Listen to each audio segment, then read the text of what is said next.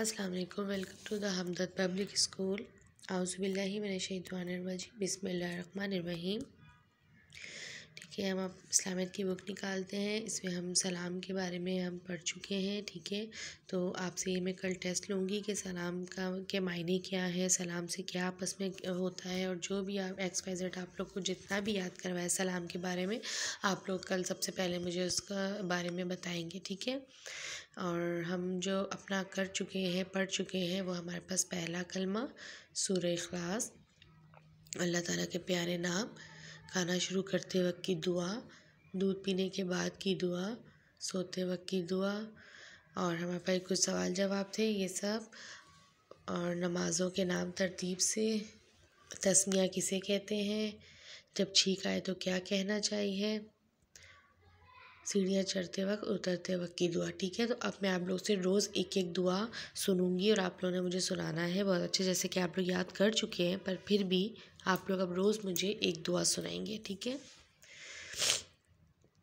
अच्छा हमारे shapes done हो चुके हैं, वो है circle triangle square rectangle star oval and diamond ठीक है?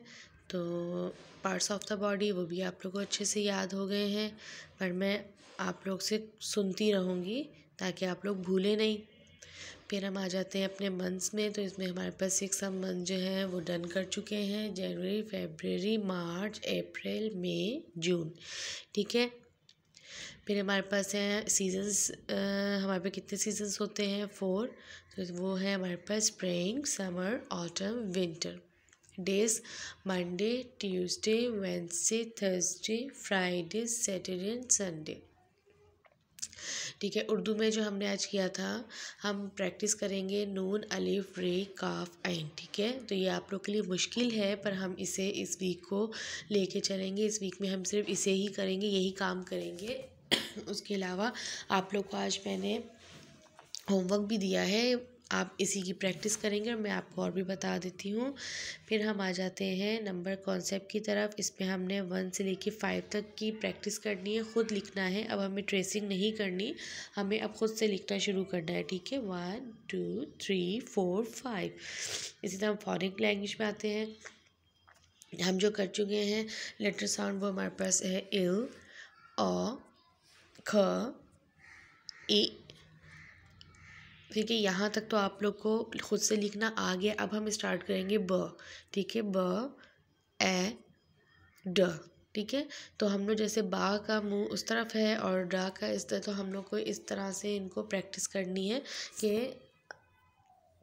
आप लोग को ये बहुत अच्छे से आ जाए, ठीक?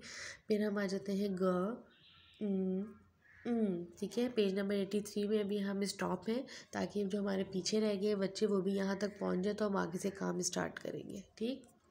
अच्छा जी, अब हम आ जाते हैं अपने जी के नॉलेज नॉलेज की तरफ़ जनरल नॉलेज के क्वेश्चन आंसर है हमारे पास what is the name of our country who is the founder of Pakistan, what is the capital of Pakistan, what is the national language of Pakistan, what is the national game of Pakistan, name the national animal of Pakistan, name the national bird of Pakistan how many days in a week ठीक है ये सब आप लोगों ने अच्छे से याद करने हैं मैं कभी भी आप लोगों से सरप्राइज़ टेस्ट ले सकती हूँ अच्छा अब हम लास्ट हमारा जो वर्क है वो हमारा था उर्दू कायदा उसमें हम लोगों ने क्या करना है जो मैंने आप लोग को अभी क्लास में भी करवाया है और हमने ये मैंने आपको होमवर्क भी दिया है। कल सबसे पहले मैं आप लोगों से इसका औरल टेस्ट लूँगी, ठीक है? उसके बाद हम आगे काम करेंगे।